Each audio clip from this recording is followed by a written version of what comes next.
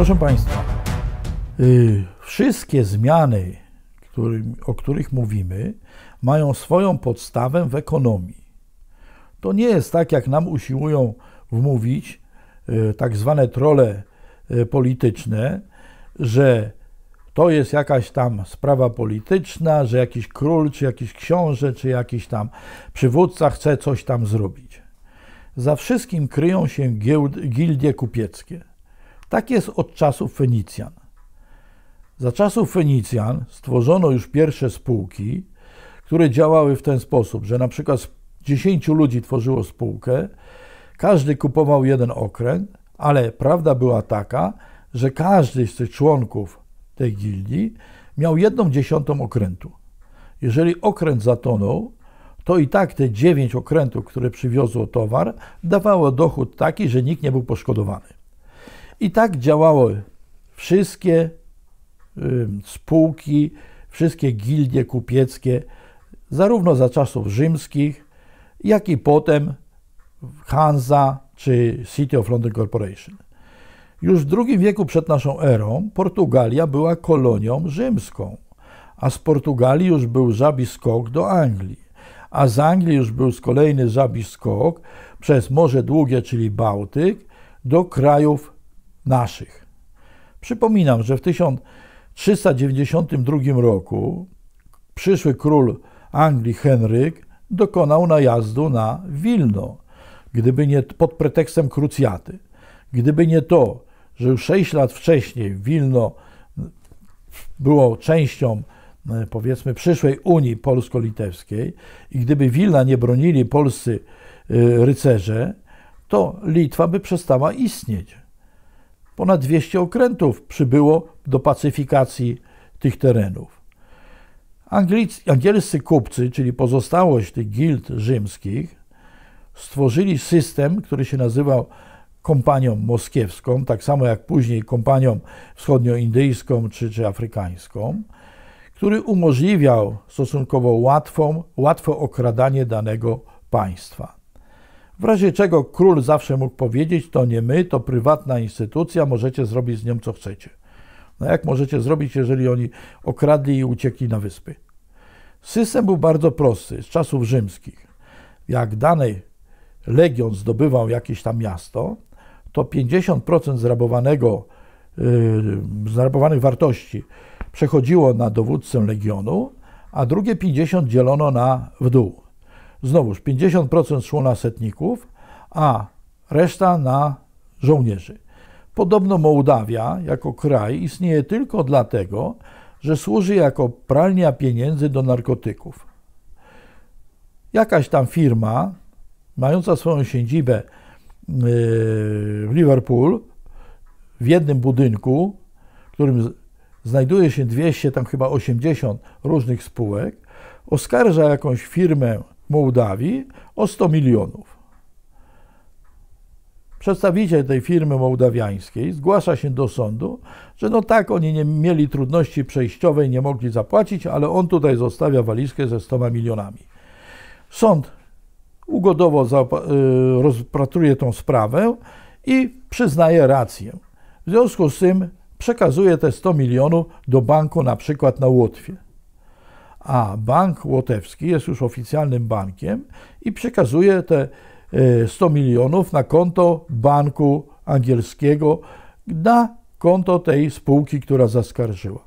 I w ten sposób te 100 milionów jest wyprane całkowicie, ponieważ oficjalnie z banku zostały przelane. W ten sam sposób działają, działa CIA na przykład obecnie w Wenezueli. Cała sprawa Wenezueli to nie są te infantylne wypowiedzi rozmaitych ludzi przed telewizornią, tylko sprawa dotyczy zwrotu złota Wenezueli. Wenezuela ma kilkadziesiąt, tysięcy, kilkadziesiąt ton złota i zażądała jego zwrotu. Oczywiście bank, który to posiada, absolutnie nie chce tego zwrócić. O wiele tańsze jest bowiem wykonanie zamieszek w Wenezueli i posadzenie na e, stołku prezydenta czy premiera swojego człowieka. Doskonale to widzieliśmy w czasie tak zwanej pustynnej burzy w Iraku. Pierwsza informacja była taka, że Irak posiada rzekomo broń masowego rażenia, no i dobry wujaszek sam usiłuje nie dopuścić do eskalacji tej broni. Kilka dni temu w telewizji polskiej był wyświetlany film, jak to rzekomo, jak to żołnierze amerykańscy, tych korpusu Marines czy jakiegoś tam innego, szukają tej rzekomej broni masowego rażenia i okazuje się, że tej broni w Iraku nie ma. To przedstawia film amerykański. Ale sama dezinformacja o istnieniu broni powodowała śmierć wielu tysięcy ludzi. Czyli wszędzie tam, gdzie dochodzi do jakichś przewrotów, zawsze z tyłu znajduje się złoto, czy jakaś inna forma y, monopolu na bogactwo. Wszystkie zajścia na Ukrainę nie mają nic wspólnego z Ukrainą, bo takiego państwa nigdy nie było i na razie nie ma. O tym mówił bezpośrednio w maju 15 roku, chyba 3 i 15 czy 14 maja, przewodniczący ONZ-u. Ukraina nie dopełniła nigdy formalności zarejestrowania swoich granic w Ukrainie. Generalnie chodzi tylko i wyłącznie o przejęcie bogactw naturalnych. Ukraina jest krajem, który znajduje drugim na świecie co do wielkości kopalnię koltanu. Koltan jest to minerał niezbędny do budowy tych wszystkich lotów w kosmos. Nigeria i Ukraina są to dwa państwa, które to posiadają. Stąd te liczne zamieszki i walki w Nigerii, ponieważ kopalnie znajdują się, to są kopalnie jak gdyby odkrywkowe, no nie tak zupełnie, bo w rzekach znajdują się jamy i tam można wydobyć te grudki koltanu. Niestety w tych rzekach znajdują się także krokodyle. Do tych dziur mogą wchodzić małe dzieci. No to dla takiego krokodyla to żaden problem. Stąd są walki, bo rodzice y, bronią się przed sprzedażą swoich dzieci i walczą o nie.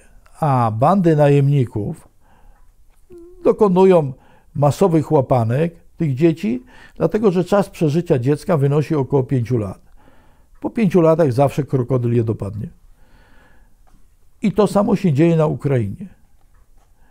Po pierwsze, sprzedano już prawie 5 czy 6 milionów hektarów firmom amerykańskim, które zaczynają tam uprawiać żywność genetycznie modyfikowaną, ponieważ granice między Ukrainą a Unią są bardzo luźne i łatwo je można przekroczyć. Po drugie, sprzedano około 500 czy 600 tysięcy hektarów yy, najlepszych ziem Chińczykom, którzy robią to samo. Dlaczego Chińczykom? No bo Chińczycy mają 8 czy 12 bilionów papierków zwanych dolarami i gdyby wpuścili je na rynek, to by nastąpił kolaps dolara. O tym najpoważniejsze mm, think tanki, czyli, czyli zbiorniki myśli, czyli zespoły naukowców, którzy opracowują rozwój przypuszczalny jakiejś tam o, y, dziedziny przemysłu, piszą wyraźnie, że prawdopodobnie w tym roku, w latem, nastąpi y, upadek dolara. My o tym wiemy od 2000 roku, bo w 2000 roku już chciano wprowadzić Amero. Z jakichś powodów to wstrzymano, prawdopodobnie dlatego, że zarówno Arabia Saudyjska, jak i Chiny posiadają olbrzymie depozyty tych papierków i gdyby to rzuciły na rynek, to rzeczywiście y, pieniądz amerykański przestałby istnieć. Więc dogadano się kosztem krajów y, Europy Środkowej i Sowietów, ponieważ już Jelcyn wydzierżawił około 5 milionów hektarów Chińczykom po drugiej stronie Amuru. Jak podaje obecnie prasa y, rosyjska, żywność z tamtych okolic jest tak skażona pestycydami czy herbicydami, że praktycznie nie powinna być wprowadzona do obrotu. A jest. To samo możemy spodziewać się y, tej, na podstawie tej żywności, która będzie do nas przychodziła y, z Ukrainy. Dziwnym trafem w internecie można znaleźć rozmaitego rodzaju mapy czy artykuły, które wskazują, że na przykład w pasie od polskiej granicy do Wilna 90% ludności jest pochodzenia polskiego. O tym wiadomo od dawna, tylko dlaczego teraz pojawiają się mapy. Prawdopodobnie już w większości spraw doszło do podziału Ukrainy. Podział jest taki, że tereny pierwszego zaboru polskiego otrzymała i Krym otrzymała już Rosja. Zarówno Węgry, jak i Rumunia stworzyły taką samą kartę, jak u nas jest karta Polaka dla swoich obywateli i coraz głośniej się mówi, że te tereny powinny powrócić do krajów macierzystych. Stąd do Polski przyjechało już ponad 5 milionów, a niektórzy twierdzą, że 7 milionów ludzi z Ukrainy do pracy. Innymi słowy, proponuję, czy podaję za stronami internetowymi amerykańskimi, a także za tym, co podała pani Merkel, trzymać w domu co najmniej te kilkanaście litrów wody i jedzenia na 2-3 tygodnie. Proszę pamiętać, że to jest bardzo proste przeliczenie. Co najmniej 3 litry wody na osobę na dzień. W zależności od mieszkańców danego mieszkania, yy, łatwo to przeliczyć. Butelki są 5-litrowe i one są najlepsze do przechowywania, ponieważ ciężar 5 litrów, nawet dziecko może iść gdzieś tam po wodę. Y, doświadczenia Jugosławii, jak również Czeczenii i Gruzji wskazują, że w przypadku działań wojennych z wodą będzie największy problem. Proszę zauważyć, że Polacy, czy chcą, czy nie chcą, bo to wprowadził y, Stoltman, czyli Kwaśniewski w 1995 roku, muszą występować zarówno na wzgórzach Golan, w Afryce, w Afganistanie czy w Iraku. Pamiętam, jak nas namawiano, że to będzie wielki sukces, bo dostaniemy y, zlecenia na, na odnowę, na budowę, a y, tych rozwalonych y, domów czy mostów w tamtych krajach. A prawda jest taka, że nic nie dostaliśmy, wręcz przeciwnie, straciliśmy bardzo dobre kontrakty handlowe, które przejęły firmy amerykańskie.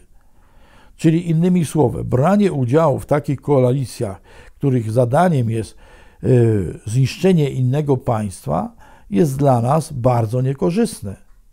No tak, ale żeby namówić tych ludzi, żeby wzięli udział, to trzeba stworzyć legendy o jakichś wielkich walkach Polaków, bo w ten sposób rozbudza się wyobraźnię młodych ludzi. Ostatnio przez chyba dwa czy trzy y, tygodnie podaje się na programie pierwszym telewizji, jakie są losy tych biednych młodych ludzi, których za przysłowiowe tysiąc złotych więcej wysyła się do walk w Afganistanie czy w Iraku. Jak bez nóg czy bez rąk wracają, jak są pokieraszowani. Pytanie brzmi, czy to jest w interesie Polski? A jeżeli tak, to dlaczego do dnia dzisiejszego żaden Sejm, żaden Senat, żadna organizacja nie zaczęła się zastanawiać, jakie są nasze zyski czy straty. No bo jeżeli oficjalnie ani rząd, ani Sejm nie wypowiedział wojny, to na jakiej podstawie Polacy biorą udział w wojnie? Proszę się nad tym zastanowić. Ale rozbicie danego kraju polega na dwóch rzeczach. Albo zrobić go ekonomicznie niesamodzielnym, czyli zmusić go do kupowania naszych produktów, albo zmniejszyć go liczebnie. A u nas robi się to jednym i drugim sposobem.